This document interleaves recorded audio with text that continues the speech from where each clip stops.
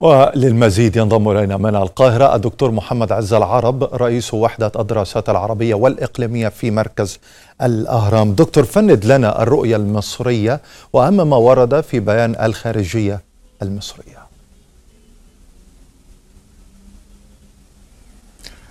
الرؤية المصرية تجاه ما حدث من استهداف للنقلات النفطية في خليج عمان هي امتداد للرؤية المصرية التي سبق أن تم التعبير عنها إزاء استهداف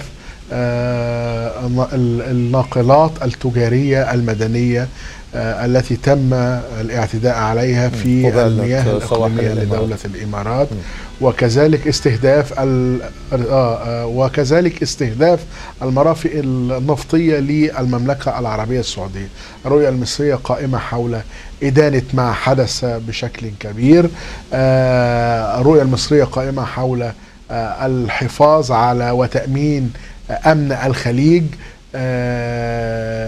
من الاعتداءات التي توجه إليه من جانب الميليشيات المسلحة والتنظيمات الإرهابية المدعومة من بعض القوى الإقليمية وأن تتحمل قوى المجتمع الدولي مسؤولياتها تجاه ما يحدث لأن من الواضح ما يحدث لا يمس وفقا لرؤية مصر والكثير من القوى العربية كما جاء في بياناتها المختلفة اليوم لا تمس فقط أمن الخليج وأمن السعودية ودولة الإمارات بقدر ما يمس عرقلة حركة الملاحة الدولية والتجارة العالمية طيب دكتور إذا كانت إيران مسؤولة سياسيا وجنائيا عن هذه الهجمات لما يتم دعوتها للحوار دكتور طبقا لما ورد على لسان مايك بومبيو منذ قليل.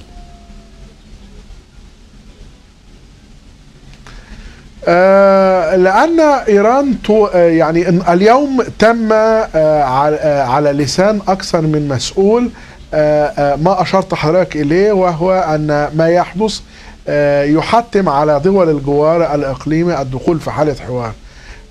الخبرات السابقة مع إيران لا تبشر بأي نواحي إيجابية في هذا السياق.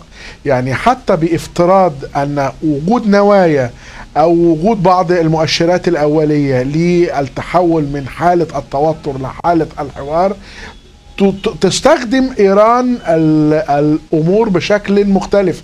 أولا تعتبرها إنها دعوة للضعف من جانب الدول العربية وإنها لا تستطيع مواجهة إيران بشكل كبير بل أن إيران تطبق ذلك ليس مع الدول العربية. وحينما نشير إلى أن ما حدث من تراجع ومرونة في الخطاب الأمريكي خلال الأسبوعين الماضيين في مرحلة ما بعد انعقاد قمم مكة الثلاث نجد أن الرد الإيراني بافتراض وترجيح أنها هي الأكثر تورطا في ذلك لأن امتلاك توربيد آه للمساس بالنقلات النفط لا تملكها إلا دول ودول كبيرة. آه نعم. في هذا السياق. طيب هل هو تراجع دكتور يعني طبقا لما أوردته لنا منذ لحظات هل هو تراجع أمريكي أم هو تناقض في التصريحات وفي المواقف؟ يعني بومبيو في الوقت الذي يشير في يشير فيه إلى مسألة العودة إلى طاولة النقاش والحوار. ترامب عبر تويتر يقول لا أمريكا ولا إيران مستعدتان لإبرام أي اتفاق. اذا السؤال ما هو البديل؟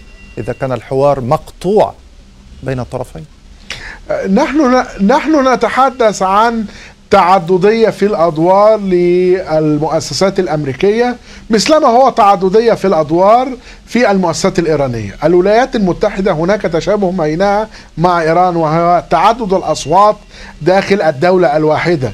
كما أشرت حضرتك تصريحات بومبيو وهي ليست التصريحات الأولى. تصريحات بومبيو منذ عدة أيام حينما أشار وهي تعبر عن تحول كبير في السلوك الأمريكي بأن هناك استعداد من جانب واشنطن للجلوس على مائدة المفاوضات مع طهران بدون شروط مسبقة. وهو ما يناقض ال 12 شرطا التي سبق أن وضعها ترامب لبدء حوار مع إيران.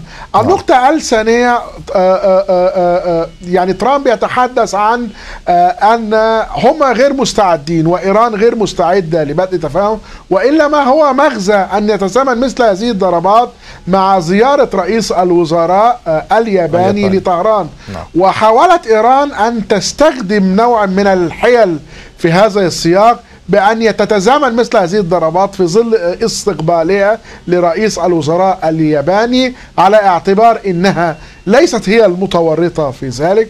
وكمان يعطي إشارة بأن إيران حتى أن الوساطة لا تجدي معها نفعا لأن الوساطة لا تحقق لها بعض المصالح وإنما ما يحقق مصلحتها هو إعادة العمل مرة أخرى بالاتفاق السابق الذي تم التوقيع عليه بعد إدارة أوباما التخفيف بشكل كبير من حالة العقوبات الأمريكية التي يبدو أنها أرهقت الاقتصاد الإيراني بشكل كبير على نحو جعلها أن توجه بعض الضربات لبعض حلفاء واشنطن في المنطقة لواشنطن ذاتها وإحراجها واعتبارها حليف غير مستقر باعتبارها غير قادرة على الرد كما أشرت حضرتك بسلوك فعلي وليس بتهديد لفظي وإطلاق بعض التويتات.